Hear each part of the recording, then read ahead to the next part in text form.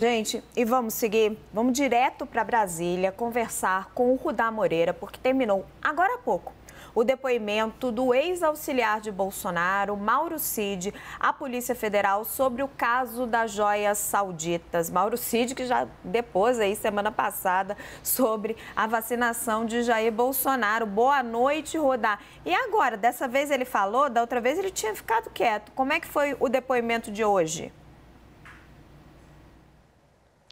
Boa noite, Raquel. Boa noite para todo mundo que acompanha o Arena.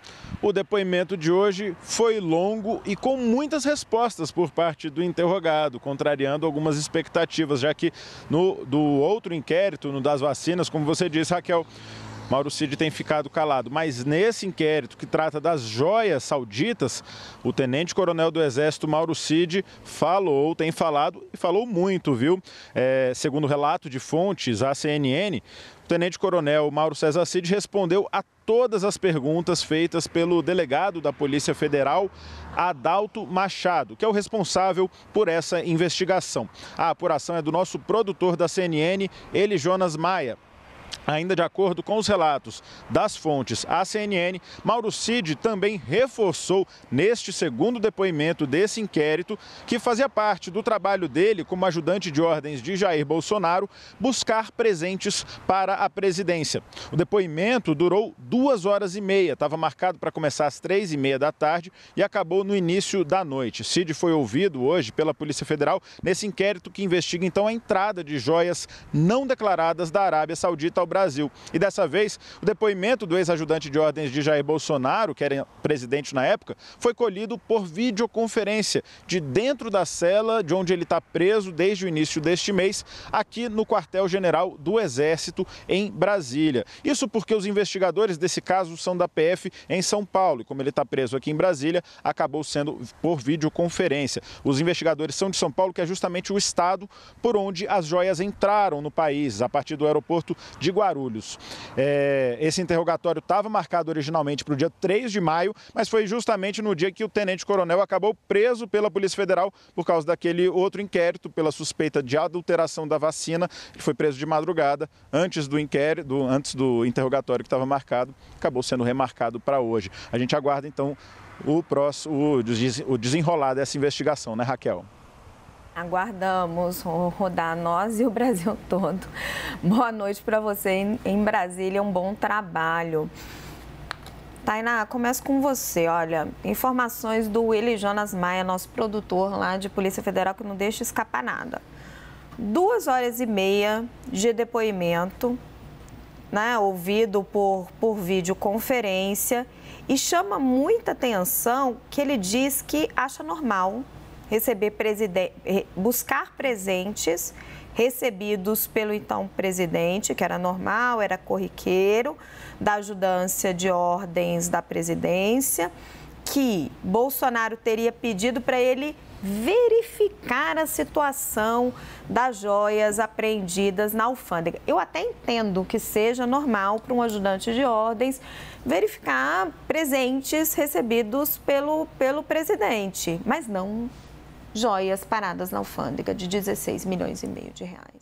Uhum. Eu acho que nesse caso, é, é, tem dois apontamentos que eu acho que eu gostaria de fazer, porque é, o, o, Mauro Cid é um personagem que está implicadíssimo em todas essas investigações que rodeiam o ex-presidente Jair Bolsonaro. Mas falando sobre é, o que ele disse hoje, né, não, não muito diferente do posicionamento que ele já teve anteriormente, de que considera normal esse tipo de, é, de ação, né, ou na, na, função que ele exercia, mas sim causa espanto para quem assiste do lado aqui de fora, dado o valor desse presente.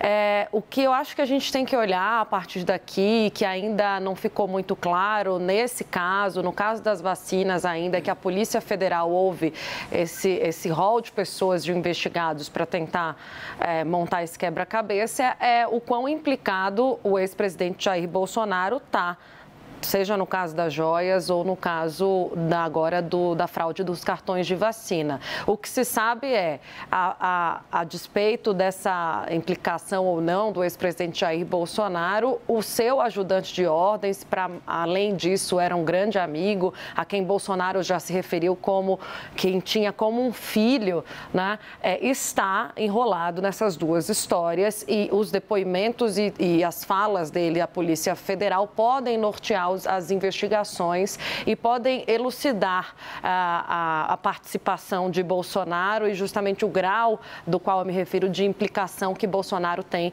nesses dois casos. Como ele está preso em razão da fraude do cartão de vacinação, Raquel, é, o que eu questionava até no final de semana, tratando isso com o analista Leandro Rezende, é, há, uma, há um entendimento, um desenho, pelo menos por hora, da sua defesa de descartar a delação premiada.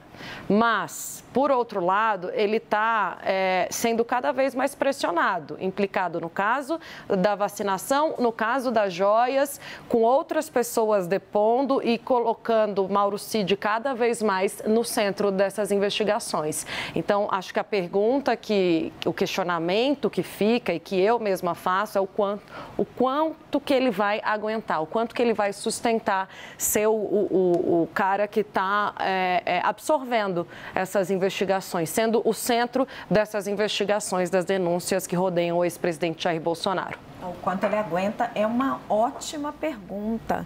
Caio Junqueira, hum. você que tem trabalhado bastante nesse assunto, teve acesso a um monte de documento, consegue destrinchar um pouco para a gente a estratégia da defesa do CID? Ficou calado num assunto, agora decidiu falar, deu uma desculpa, parece, desculpe a franqueza, meio esfarrapada o que está por trás? Vamos lá. É, dois casos, né, né, Raquel? O caso da. Esse caso da semana passada tem uma justificativa da, da defesa que só teve acesso à perícia do celular na véspera do depoimento e, portanto, não houve tempo suficiente para preparar-se para o depoimento. No caso de hoje, é a linha toda dele é que estava, como diz aí na linguagem militar, pagando missão, né? Pagando missão para o para o chefe, que era o presidente Jair Bolsonaro na época. Eu vejo essa linha da defesa é, do Mauro Cid alinhada, sim, a linha de defesa, nesse caso das joias, do é, ex-presidente Jair Bolsonaro, e ambas é, direcionando muito a responsabilidade para o ex-ministro de Minas e Energia, Bento Albuquerque. Né? Toda a linha de defesa que, que sumiu, né? ele, ele submergiu, até o advogado dele, submergiu também, né? Pra você ver, né?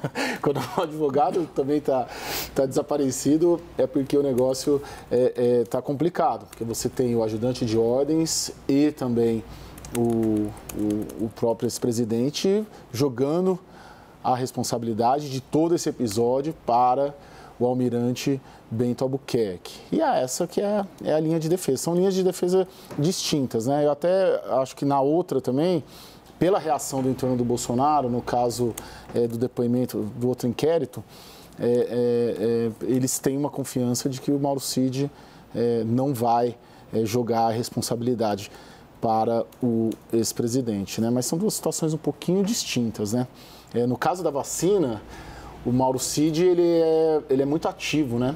ele, é, ele foi um agente determinante em todo o processo.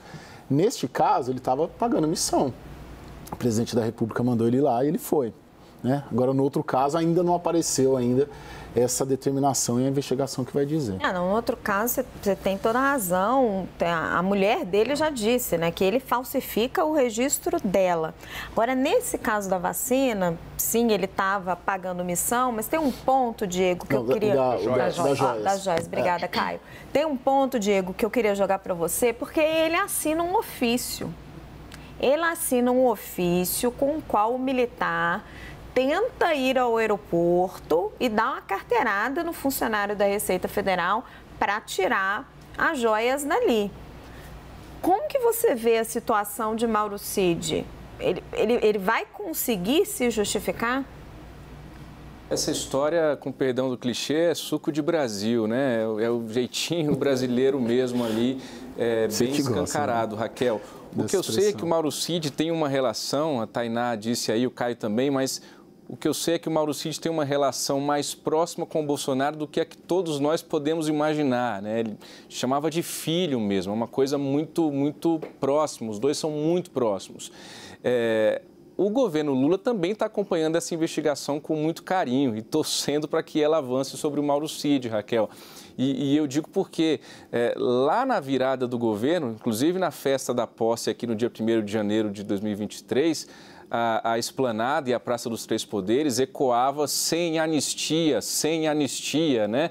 Ali em relação aos possíveis crimes praticados pelo governo de Jair Bolsonaro. Então há há sim uma torcida dentro do governo Lula para que essas investigações avancem sobre o Mauro Cid, que é uma figura central ali, e à medida em que a prisão dele vai se alastrando, alguns falam em possibilidade de delação premiada, eu particularmente acho pouquíssimo provável pela lealdade que o Mauro Cid tem ao ex-presidente, mas o avançar dessas investigações seria uma forma do governo Lula responder um pouco a esses ecos aqui, a esses gritos de sem anistia que foram ecoados em Brasília no dia, naquele dia 1 de janeiro, Raquel.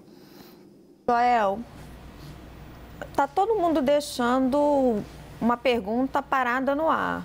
Até quando Mauro Cid aguenta? Você tem palpite?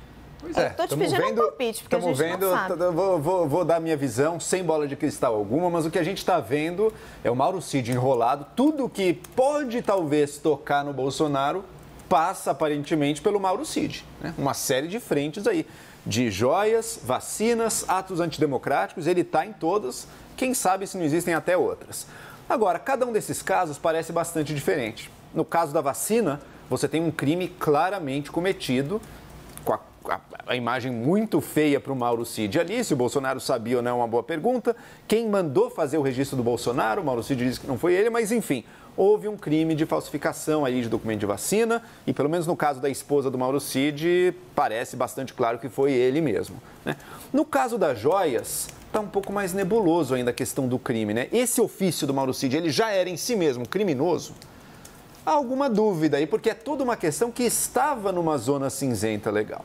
Qual que é a alegação com relação às ações tomadas com a joia ali? É que tentou se liberar as joias ali numa carteirada, sem a garantia de que elas iriam para o acervo público, então poderia acontecer que elas fossem para o acervo pessoal do Bolsonaro. É óbvio que iriam, todas as outras foram, é claro que essas iam também. Poderiam ir para o acervo pessoal do Bolsonaro sem pagar o devido imposto. Era por isso que a Receita estava segurando, hein? Porque tinha que pagar milhões de reais em imposto, porque é um presente de milhões de reais. Então tentaram fazer passar sem pagar o imposto. Foi criminoso esse ofício? Isso me parece, ainda não vi claramente alguém dizer sim, cometeu esse crime aqui, é por isso que vai ser julgado, e se o Bolsonaro mandou, ele que, ele que, vai, ser, ele que vai ser enquadrado no crime. Ainda não está claro por quê? Porque a situação do presente e da, des, e da delimitação, da designação, se o presente vai para o acervo pessoal, vai para o acervo oficial, tudo isso estava muito mal parado, estava muito mal regulado. Acredito que agora, inclusive, o TCU tenha melhorado nessa questão e no futuro não teremos isso, mas era bastante confuso no passado. Então, nessa parte, parece que o Mauro Cid está dizendo: olha, eu fiz o que eu faço de praxe, fui lá tentar, não deu certo, mas não tinha crime nenhum, eu estava me comportando assim como um ajudante de ordens sempre se comportou. Se isso convence ou não, se isso é juridicamente sólido ou não, não sei. Mas a questão é que no caso das vacinas o crime é muito claro nas, nas joias, menos e em ambos ainda não tocou no Bolsonaro. Então, o, o, só um pouquinho, Diego, se eu só é, pegar um, um, trechinho aqui do Joel, já passo a palavra para você. Esse ofício, precisa ver juridicamente, mas ele me incomoda. Claro. Porque ele foi utilizado para pressionar um funcionário da Receita Federal. E desde Bolsonaro, que pede para verificar a situação, a Mauro Cid, que faz um ofício, eles sabiam da situação daquelas joias na Receita, de que aquilo ali estava brecado e de que aquele documento não era suficiente. Não era a guia certa da Receita Federal para tirar aquele documento dali. Diego.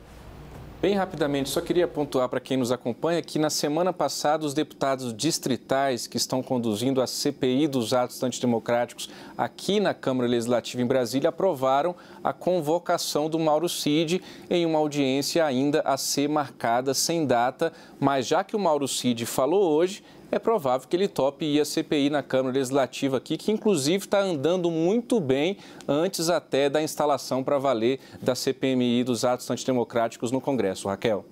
Ah, eu bem rapidinho, só queria que você pontuasse uma questão. O incômodo que isso está gerando no Exército, porque Mauro Cid é militar, filho de militar. Isso, filho de um general, né, que estudou junto com o Bolsonaro. É, pelo que eu captei, hoje eu conversei com um general da ativa, do alto comando do Exército. Eles, eles, eles têm uma leitura que o Mauro Cid se expôs muito durante a, a presidência, né? É, inclusive me, me, utilizaram essa expressão. Falou quem quer o ajudante de ordens, porque geralmente cada força indica um ajudante de ordens. E ninguém sabe quem era o ajudante de ordens indicado pela aeronáutica ou o ajudante de ordens indicado pela marinha, mas todo mundo sabe quem que era o Mauro Silva. Estava nas motocicletas, tirando foto, gravando, né? Então, é, é, ele se entregou muito. Agora, é, na, nas forças no Exército, principalmente, que é a força de origem dele, eles têm dado ali um certo apoio, né? Eu digo assim, não cortaram o salário, não abriram investigação interna, porque eles avaliam que a, a própria justiça que deve cuidar desse caso. Eles mantiveram né, o, o soldo, eles mantiveram, salvo engano, também a família na Vila Militar, eles estão aguardando. Mas tem uma leitura assim, né? Que, que ele foi e se expôs muito durante todo é, o tempo que ele ficou como ajudante de ordens e acabou virando alvo.